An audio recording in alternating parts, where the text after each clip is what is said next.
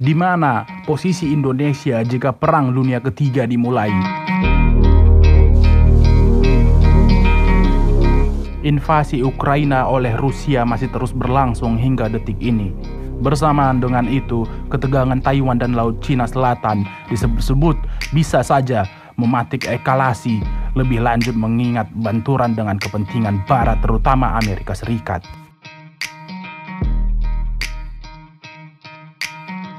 Berdasarkan catatan historis, dunia belum pernah melihat destabilisasi geopolitik seperti ini sejak pra Perang Dunia Kedua yang disebabkan oleh tindakan Nazi Jerman, Italia, dan Jepang.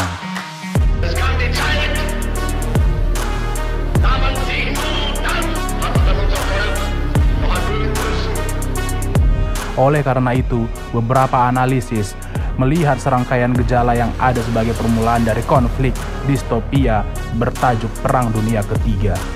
Salah satu yang teranyar datang dari mantan Menteri Luar Negeri Amerika Serikat Henry Kissinger yang pada pekan lalu menilai bahwa negaranya diambang perang terbuka dengan Rusia dan Tiongkok.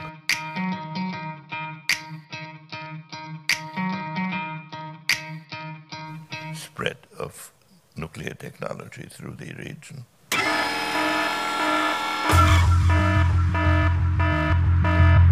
Tidak hanya Rusia dan Tiongkok, terdapat aktor lain yang menganggap Amerika Serikat sebagai musuh, yakni Korea Utara hingga Iran.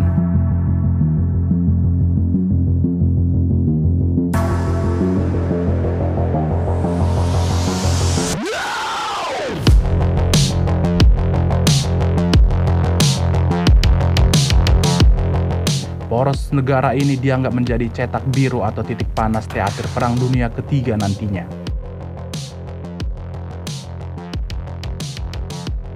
Terlebih, pasca kunjungan Ketua Parlemen Amerika Serikat Nancy Pelosi ke Taiwan pada awal Agustus lalu, media pemerintah Tiongkok Global Times merespon dengan cukup serius bahwa arena peperangan telah siap untuk digunakan. Bahkan prediksi serupa pun datang dari bos Tesla, Elon Musk, yang sempat mengutarakan bahwa Perang Dunia Ketiga lebih mungkin tercipta belakangan ini akibat gejala-gejala perseteruan negara besar yang kian terlihat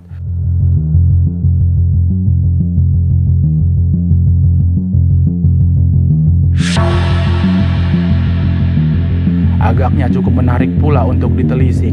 Lebih lanjut mengingat Australia adalah negara yang berbatasan langsung di selatan Indonesia. Perang terbuka tampaknya akan memberikan konsekuensi keamanan yang belum pernah terbayangkan sebelumnya di tanah air. Lalu muncul suatu pertanyaan, siapkah Indonesia menghadapi skenario terburuk ini? Eskalasi konflik terbuka sempat pula dilihat oleh Noah Smith dalam publikasinya yang berjudul The US Must Commit to making South and South Head Asia rich.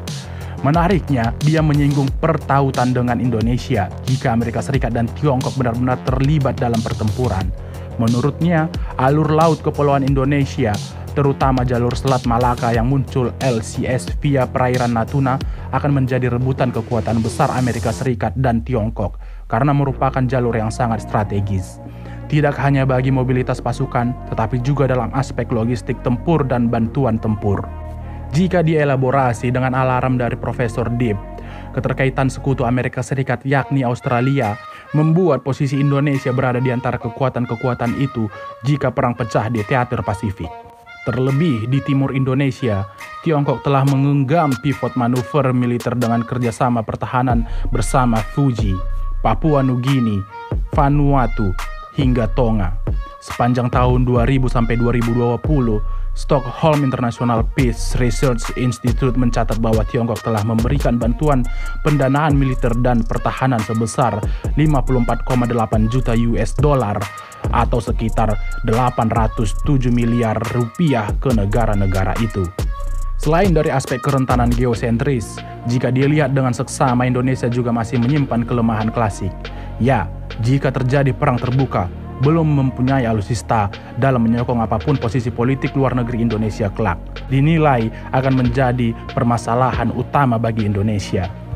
Hingga detik ini, modernisasi alutsista Indonesia secara faktual dinyatakan masih jauh tertinggal dengan negara-negara serumpun seperti Singapura misalnya. Media asal Prancis, Meta Defense, mengatakan modernisasi alutsista Indonesia bekerja layaknya drama sinetron. Hal tersebut dikarenakan dalam membeli alutsista, rencana belanja Indonesia terlihat dibuat secara mendadak dan tidak beraturan. Kendala berupa tarik-menarik, vested interest, atau kepentingan pribadi atau kelompok yang terbalut dalam rumitnya birokrasi politik anggaran aspek pertahanan disinyalir menjadi biang keladinya. Selama dekade 2008 sampai 2018, Indonesia hanya menghabiskan kurang dari 5,8 miliar US dollar dibandingkan dengan 3,3 miliar US dollar yang dihabiskan oleh Malaysia yang memiliki 12% dari populasi Indonesia dan seperempat jumlah personil militernya. Pun dengan Singapura yang sepanjang dekade serupa mampu mengeluarkan 8 miliar US dollar anggaran pertahanannya. Lantas, bagaimana dampak yang akan dirasakan masyarakat Indonesia jika Perang Dunia Ketiga menjadi kenyataan. Terlepas dari keberpihakan atau netralitas Indonesia, aspek perekonomian tentu akan menjadi yang paling awal plus paling berat ditanggung setiap individu di tanah air jika terjadi perang.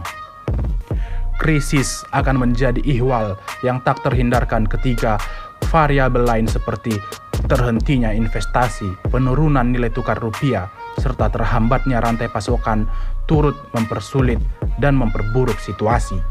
Selain itu, medan peperangan di dunia cyber yang membedakan dengan dua perang dunia edisi sebelumnya. Dunia juga memaksa negara-negara di luar aktor utama pertempuran turut terseret mulai dari kekacauan multidimensi akibat peretasan hingga terminologi kontemporer sehingga virus host of falsehood atau propaganda kepalsuan yakni penciptaan disrupsi hoax tentang anomitas pihak yang menyerang dan pihak mana yang akan menjadi korbannya. Lalu, jika dilihat dari sosio-kultural, mayoritas populasi Indonesia saat ini pun belum pernah merasakan berada dalam suasana mencekam saat berada di tengah-tengah sebuah konflik, apalagi perang dunia. Ini belum termasuk atmosfer ancaman perang nuklir yang dapat sangat destruktif dampaknya, baik secara material maupun imaterial seperti kondisi psikis masyarakat luas dihantui ketidakpastian dalam berbagai sektor akibat perang, agaknya akan sangat menguji resiliensi warga plus 62 kelak. Gendati demikian, getirnya dampak perang secara global tentu tidak diinginkan pihak mana pun. Langkah kolektif untuk membuat Perang Dunia Ketiga tetap berada di ranah fiksi diharapkan menjadi upaya pencegahan yang terus diperjuangkan. Jadi, menurut kalian, cebong lawan kampret menang siapa nih kira-kira?